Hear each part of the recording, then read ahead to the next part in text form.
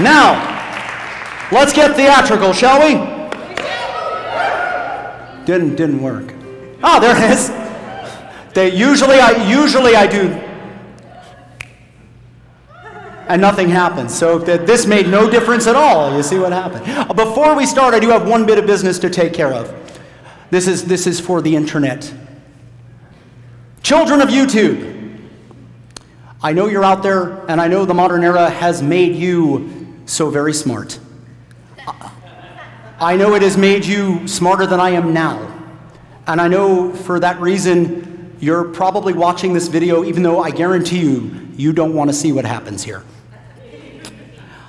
That said, I'm not going to tell you not to watch because I'm a big, scary grown up, even though this is a big, scary grown up show. But the reason, the reason why is because you believe in magic.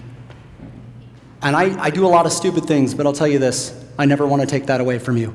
So when you understand why I'm asking you to wander off for a bit, come back, watch the video, and enjoy the show. In the meantime, we're going to do this one for the grown ups. All right?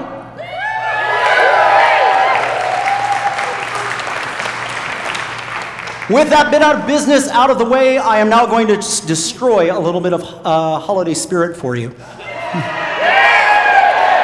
I will, now that I've warned off the children, tell you about the day Santa Claus was ruined for me. Ooh, did you feel that? It got cold in here. it did. It was like, you're like, really? Okay, it's getting real. When I was a kid, when I was a kid, I was, uh, I was in New York City, and uh, I was sent to bed by my, my, my very indulgent parents, my very tolerant, indulgent parents. Uh, and they said, You can listen to the radio. Back then, we had this thing called the radio. Some of you remember. The rest of you, it's sort of like the internet, only slower, and the pictures are worse. Very, very nice courtesy laugh. Keep those coming throughout the evening. Appreciate that. So, I was sent to listen to the radio because NORAD would give updates to where Santa's sleigh was throughout the evening.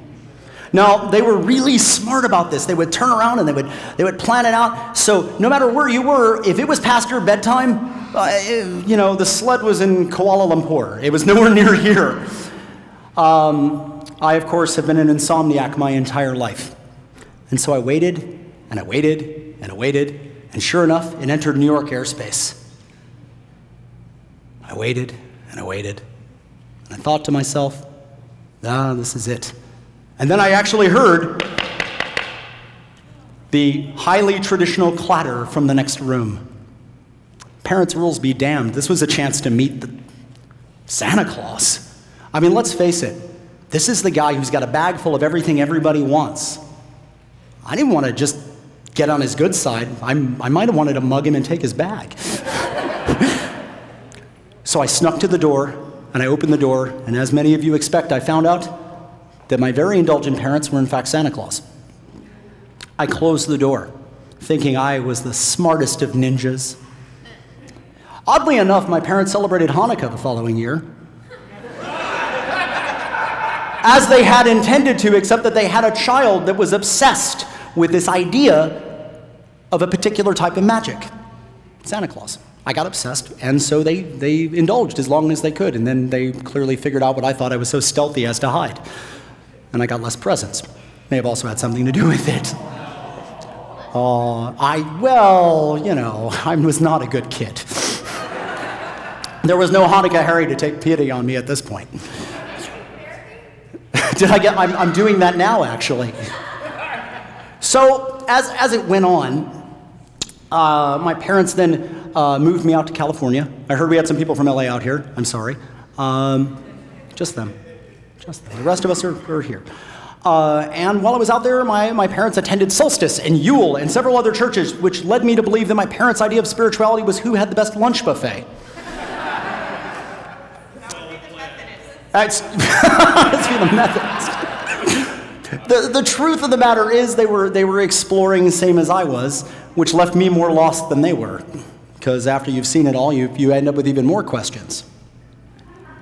Uh, well, somebody in back thought it was funny. Good. so at the, at the end of it all, um, I ended up here with more questions than answers. And the story basically has three simple morals. If you're one of those people who doesn't believe in anything, you know, maybe you believe in science, Good. You- You're, you're, you're seeking the truth. The truth was, I was looking for magic. If you're one of those people who's very traditional and you're freaked out a little bit right now because you're here, wow, your friends are dicks.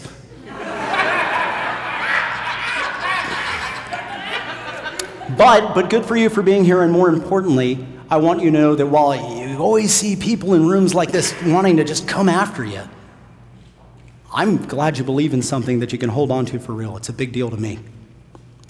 And if you're in that last camp, like me, who's still not sure about anything other than the fact that you're not getting enough presents, I want you to know that uh, a couple of years ago, we started this thing, and the very first one of these started up on Christmas Eve.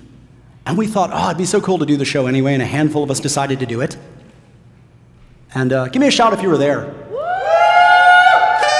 Just a small number. Everybody else you see in this room, you, we met along the way. So, uh, those people and I always had the idea that it'd be so cool. We always said, well, we'll just open the door. And tonight we were able to do that thanks to some sponsors in our community and give you the show of the show of the year, I hope. The show, you know, that's what I'm looking forward to. I hope that's what you're looking forward to. So if you're sure, if you're not sure, or if you're kind of sure, know this. The tradition that matters most from all of these threads is the fact that we're together right here at the open stage. Welcome.